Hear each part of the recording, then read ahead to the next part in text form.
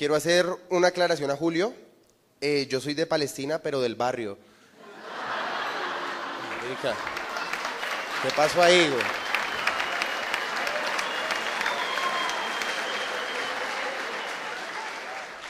Bueno, ya comenzando, pues eh, yo me llamo Ibrahim.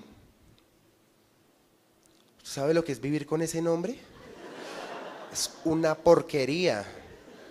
No mi nombre, sino vivir con el nombre es una porquería porque un nombre raro siempre va a ser motivo de burla. Yo voy por la calle y me dicen, ¿qué hubo Ibrahina? Y yo, su madrina. no, ya, no me la monten más.